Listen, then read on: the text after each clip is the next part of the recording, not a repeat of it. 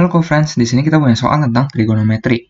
Diketahui, tan dari setengah pi ditambahkan dengan setengah a sama dengan minus 4 per 3, dengan a adalah sudut lancip. Nah, kita diminta untuk menghitung, yaitu tan a dan juga sin 2a. Nah, di sini perhatikan bahwa dikatakan bahwa a adalah sudut lancip, yang berarti kita tahu di sini untuk batasan dari a-nya adalah lebih besar sama dengan 0 derajat, namun lebih kecil sama dengan 90 derajat. Dan di sini berarti A-nya berada di pada kuadran pertama, yang berarti nilai sinusnya maupun kosinusnya maupun tangannya adalah positif. Nah, mari kita kembali di sini untuk rumus trigonometri, yaitu untuk sin 2A sama dengan 2 sin A cos A. Dan untuk tan 2A adalah 2 tan A dibagi dengan 1 dikurang dengan tan kuadrat A. Dan di sini kita punya relasi sudut trigonometri.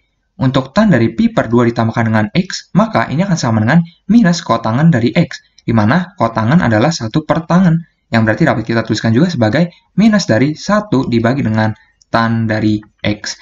Nah, di sini perhatikan bahwa karena kita mempunyai bentuk tan dari setengah pi ditambah dengan setengah A, berarti kita tahu berdasarkan relasi sudut ini dapat kita tuliskan bahwa untuk tan dari setengah pi ditambahkan dengan setengah A, berarti ini akan sama dengan minus kotangan dari setengah A. Atau dapat kita tuliskan juga sebagai minus dari 1 dibagi dengan tan dari setengah A di mana ini sama dengan minus 4 per 3. Yang berarti di sini perhatikan bahwa kita mendapati persamaannya untuk yang ini yaitu minus 1 dibagi dengan setengah A sama dengan minus 4 per 3. Yang berarti minusnya dapat kita coret, berarti kita dapati bahwa untuk tan dari setengah A ini akan sama dengan 3 per 4. Nah, karena kita sudah mendapati untuk nilai dari tan setengah A-nya, berarti kita dapat menentukan di sini untuk tan dari A. Di mana kita dapat tuliskan bahwa tan A di sini sebenarnya adalah tan dari 2 dikalikan dengan setengah A, yang berarti bahwa kita dapat menggunakan untuk rumus trigonometri tan 2A sama dengan 2 tan A dibagi dengan 1 dikurang dengan tan kuadrat A.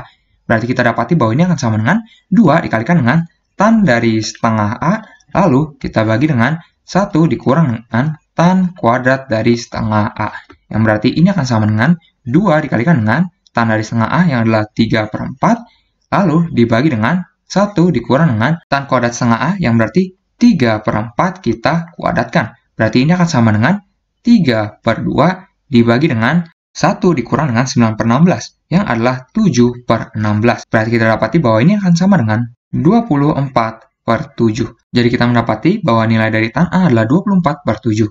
Berikutnya kita kerjakan untuk soal yang B. Kita ditanyakan untuk sin dari 2A. Nah, di sini perlu kita ingat kembali bahwa kita sudah mendapatkan untuk tan dari A, di mana kita dapat ilustrasikan, misalkan di sini kita punya untuk segitiga siku-siku, di mana kita punya ini misalkan sudutnya A, maka untuk tan A adalah sisi depan dibagi dengan sisi samping, di mana ini perbandingannya adalah 24 banding 7, yang berarti sisi depannya adalah 24 dan sisi sampingnya adalah 7. Dan kita dapat mencari untuk sisi miringnya menggunakan teorema Pitagoras, yaitu akar dari 24 kuadrat ditambah dengan 7 kuadrat, yang adalah 25.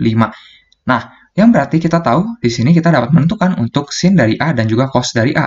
Di mana berarti untuk sin A adalah sisi depan yaitu 24 dibagi dengan sisi miring yang adalah 25. Berarti sin A-nya adalah 24 per 25. Dan di sini berarti untuk cos A-nya ini adalah sisi samping dibagi dengan sisi miring.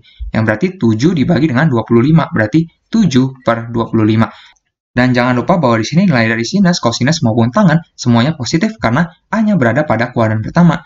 Yang berarti kita dapat menentukan bahwa untuk sin dari 2A dengan rumus trigonometri yang tadi yang adalah 2 dikalikan dengan sin A yang adalah 24 per 25 lalu dikalikan dengan cos A yang adalah 7 per 25. Yang berarti jika kita hitung maka hasilnya akan sama dengan 336 per 225. Jadi kita mendapati bahwa sin dari 2A adalah 336 dibagi dengan 225. Sampai jumpa di soal berikutnya.